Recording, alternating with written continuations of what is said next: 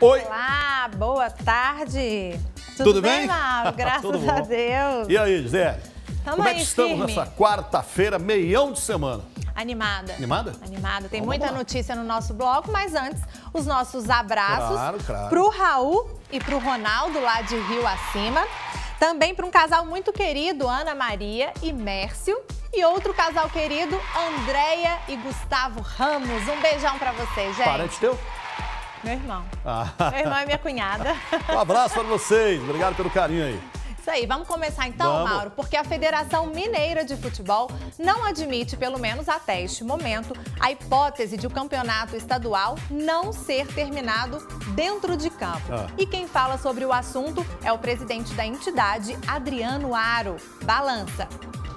Na data de hoje, a federação entrou em contato com a Secretaria de Saúde do governo de Minas Gerais e a sinalização que nós recebemos é que o protocolo da federação será aprovado ainda essa semana e tão logo ele seja aprovado, como já havíamos dito anteriormente, a federação irá convocar os 12 clubes do módulo 1 para uma reunião e nessa reunião será fixada a data de retomada do Campeonato Mineiro. Dentro de um período aí de 25, 30 dias, talvez um pouco mais, a depender do que os clubes vão escolher, e serão definidas de duas a três cidades para receberem esses jogos, para que possamos, de fato, daqui a 25, 30 dias, terminar o nosso campeonato em campo. É claro que se, quando chegarmos nessa data, não houver a possibilidade fática de realização das partidas, a federação irá novamente suspender o campeonato e remarcar esses jogos para o momento em que seja de fato possível fazer futebol no estado de Minas Gerais. Tem um detalhe aí. Tem um detalhe. A, a Federação Mineira de Futebol não é superior ao decreto municipal. Certo? Se houver o decreto municipal proibindo eventos e atividades, eles não podem jogar. Você viu que o Crivella no Rio adiou por uma semana. Teve um jogo do Flamengo, não sei o que lá. Depois ele adiou, adiou uma semana para ir depois jogar Botafogo e Bangu, qualquer coisa assim. Não, não. Entendeu? Então depende do decreto do município. Se eles forem jogar em qualquer cidade, depende. Se o município está aí com o decreto proibindo evento, não pode. É, a a federação não tem supremacia em cima do decreto municipal. A secretaria está analisando, né, Mauro? Inclusive o protocolo que a Federação Mineira de Futebol fez, inclusive foi aprovado pelo secretário de Estado da Saúde, o Carlos Amaral. Agora, não adianta marcar a data, os números são analisados semana a semana e Sim. até lá muita coisa pode Muita acontecer. coisa. Essa daqui, ele está falando daqui 20, 25 dias ainda. Muita, Muita água para rolar muita. ainda, né? Pois é, agora ainda esperando pela volta do Campeonato Mineiro, os jogadores do América sonham não só com o título estadual, mas também voltar né, à elite do futebol. E também, agora a gente vai ver na reportagem aí como é que está a preparação desses atletas. É de um lado para o outro, sem parar e no mesmo ritmo. O América segue afinado graças a este maestro, o técnico Lisca.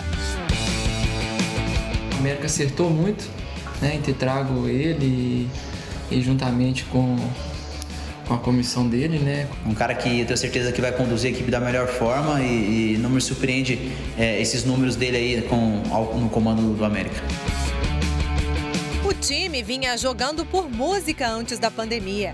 Liderava a primeira fase do Campeonato Mineiro e ainda sonha com o título. Vai voltar o Mineiro, né? Isso é certo. A gente tá muito feliz, né? Nosso grupo tá, tá quer é, terminar dentro de campo, quer ser campeão dentro de campo. A gente trabalha para isso. Outro objetivo na temporada é subir para a primeira divisão do Campeonato Brasileiro.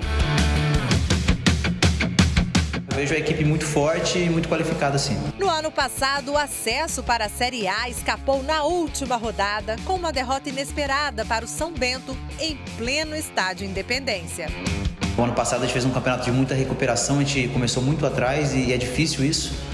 Né? E por detalhe a gente não conseguiu acesso. Eu acho que esse ano a gente tem tudo para fazer um campeonato regular, se manter sempre ali no topo da tabela, que com certeza a gente vai conseguir o acesso.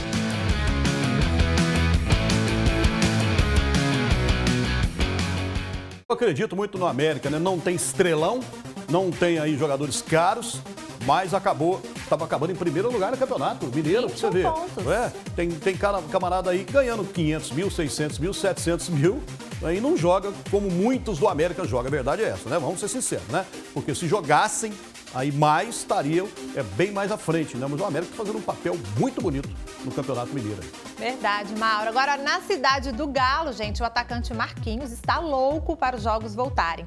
É que ele tem grandes objetivos com o Atlético. Fala aí, Marquinhos. É sabendo que nosso time pode, pode ir muito longe esse ano, ser, ser um campeão brasileiro. Tem muito tempo que não acontece isso. É, e é um sonho para mim ganhar uma Libertadores ou ganhar um Campeonato Brasileiro pelo Atlético. É, ansioso para voltar logo jogar, para poder dar alegria à massa atlética.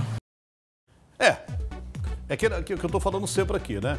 É, o duro é você voltar a jogar sem ter uma torcida. Né? É ruim, né? Nossa, como é que deve ser para um jogador ali, né? Tudo vazio, nada. Ali só vai ter, você vai escutar só o seu treinador gritando, só os teu, teus colegas né, cobrando bola sua, mas não vai ter mais nada, quer dizer, não é fácil para jogador nesse momento. É verdade, Mauro. Aí, vamos Mar... vamos jogar. O Marquinhos tem sido muito elogiado, inclusive tem. pelo vice-presidente do Atlético, né? Falou que no, no coletivo ele arrebentou, tá voando. É, o menino é bem dedicado, né? Com certeza. Vamos ver como é que vai ser quando voltar, né?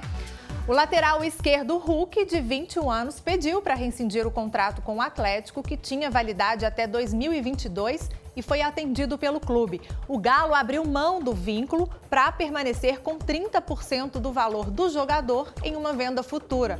Hulk está assinando por três anos com Porto e vai disputar inicialmente a segunda divisão portuguesa pelo time B, Mauro. É, também é um que veio, não sei por que, que veio, né? Não explicou por que, que veio. São umas contratações que o Atlético fez, né? Ao longo do, do, do, do ano passado, do ano retrasado, que a gente não entendeu, sabe? Nós falamos aqui, sabe? São pessoas assim que ah, esse cara jogou não sei aonde, mas ninguém sabia histórico do cara, do, como veio, o que, que jogou, não é? é e você vai disputar é, a lateral com fulano de tal, mas não explicou por que, que veio.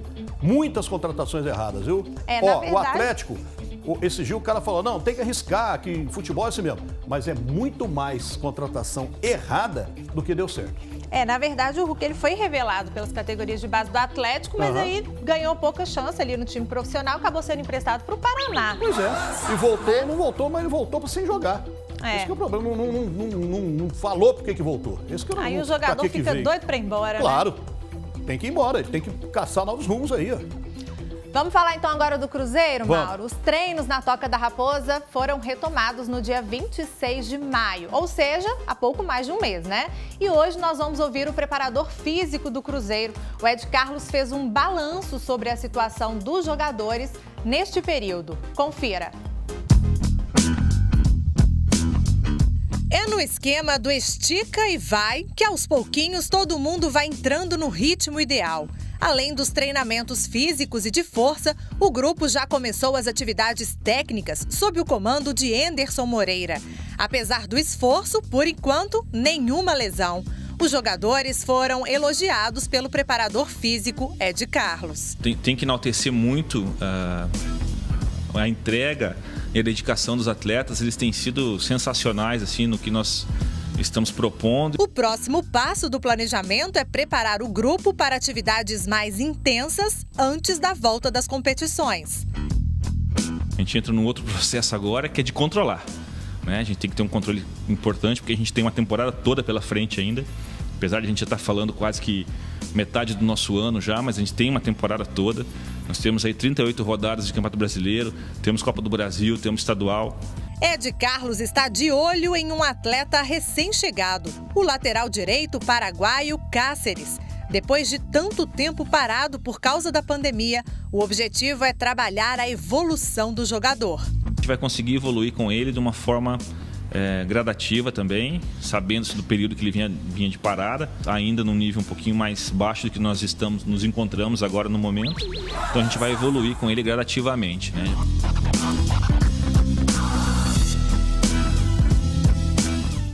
É, porque quando voltar o futebol, né? Não sei quando, mas quando voltar, o pessoal tem que estar com preparo físico em dia, porque não vai ser fácil, não. Não vai ser fácil jogar bola, né? Vai ser muito difícil, porque treinamento é uma coisa. Agora, jogo de verdade é outra, José. E vai voltar tudo ao mesmo tempo, né? tudo né? Provavelmente tempo. Mineiro, Copa do Brasil, é, eu sou Brasileirão. Vai, vai saturar o jogador. Já pensou três campeonatos? Pois é. Em pouco tempo? Eu acho que é muito difícil. Vai ser uma lesão atrás da outra, né? É. Tomara que não, mas. Claro.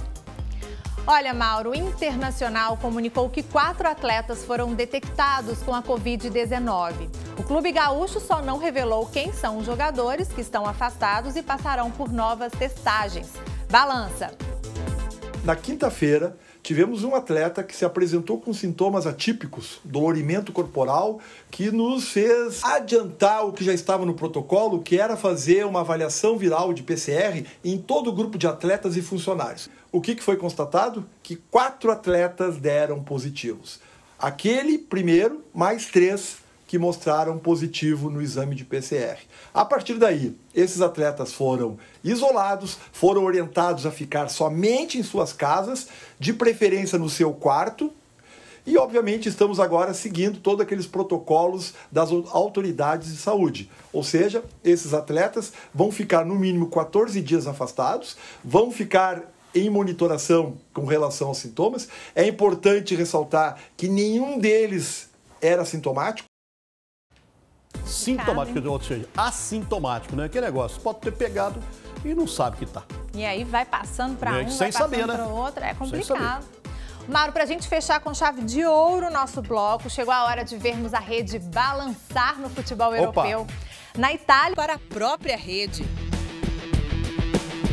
Diego Costa tentou se redimir nesta cobrança de pênalti, mas o goleirão se adiantou para defender o chute. Aí o VAR entrou em ação e invalidou a jogada. Na segunda batida, Saul converteu. Na 3 a 0. Pinamontini descontou para os visitantes, 3 a 1. Olha, você vê que é o seguinte, né?